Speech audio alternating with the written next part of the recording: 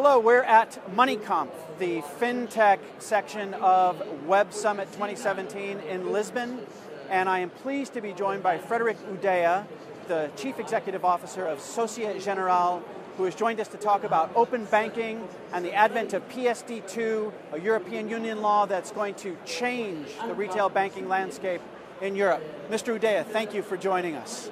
Uh, open banking is going to be reinforced by this new law in January of 2018. Uh, it's probably going to see increased competition from not just fintechs, but the likes of Apple and Alipay and Facebook and Amazon.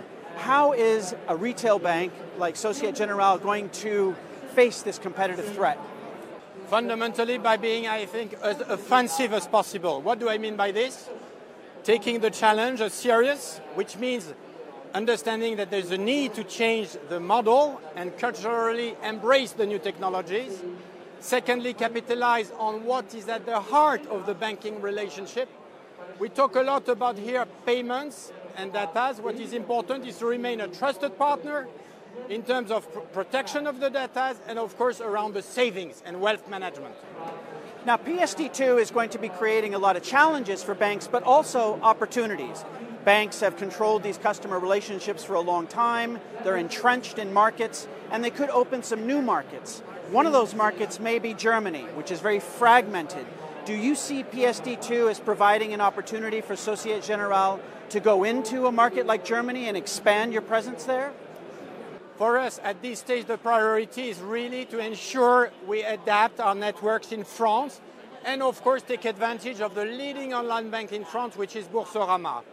You still have at this stage in Europe pretty different fragmented retail markets, and the convergence will take a lot of time. So our priority is France for the time being. In the longer term, we will see what we can do, thanks to a capacity to effectively have very streamlined processes on online banking. Open banking is very much centered on payments right now, controlling payments. You see that as a, as a battle that's shaping up over the next two or three years?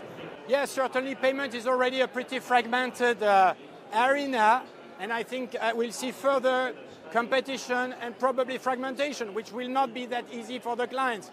And payment is at the heart of certain business models, so it's normal.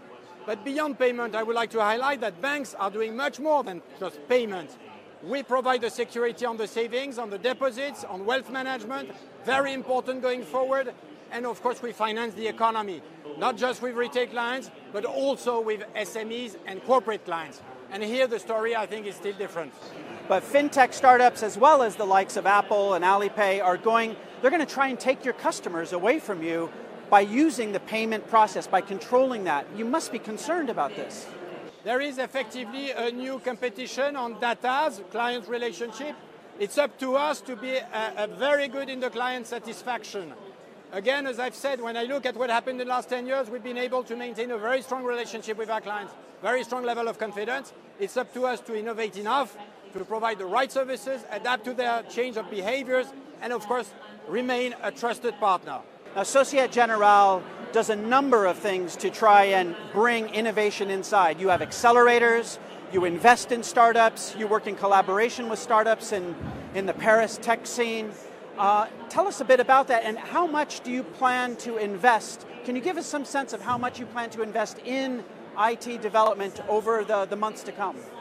I can't give you a precise figure, we will communicate in due course on this, but clearly, if you wish, it's everywhere, in every businesses, every functions, IT innovation is at the heart of the changes of models, changes of strategy. Open architecture, it's for retail, but as well as the capital market. We have, for example, an SG Market site with 700 apps which is available. And the idea is to stimulate that with internal also entrepreneurs. I'm just launching an internal uh, entrepreneurial uh, uh, process where we will try to create even more internal startups as well as external open architecture. You need to create the cultural change, you need to create the dynamic behind innovation everywhere. Now, I understand that you've started learning how to code, is that right? Yes. I felt it was important for me also to understand exactly what coding means, so I spent a few hours in coding in Python, which is one of the two languages for data, just also to understand what it means exactly and to what extent, for example, IT engineers can, can retrain. I was, from that perspective, reasonably optimistic. It's not that difficult. I think people can train. It's a new language. Do you think every banking CEO should learn how to code? Up to them, but I mean, uh, it was fun. We created also a kind of game uh, with, uh, I was creating a destroying apps, uh, simulation on apps with a Chaos Monkey game. I think it's fun, and I think it's fair to say we need to be close to the IT people because themselves need to really be part of the story. And put, bringing together business and IT guys is at the heart of the success going forward. Now, one of the most dynamic areas of fintech is the French mobile banking scene. I mean, that is just off the charts when it comes to all of the players that are competing. Can you share with us how you see profitability shaping up for you in mobile banking in France? I'm very positive with our uh, capacity because Boursorama is really by far the leader in online banking. When I say this, you need really to look at the product offering. We offer everything online mortgage, consumer credit, savings products, current accounts, payments, and really the operational leverage is great. So I'm very positive on the future prospects of profitability. We are gaining many, many hundreds of thousands of clients, more 1.2 million. It will be a very profitable model. Do you continue to have to add employees, to add investment uh, to this area? We need to, to, to further add uh, marketing uh, expenditure to conquer clients, but the operational leverage is very good.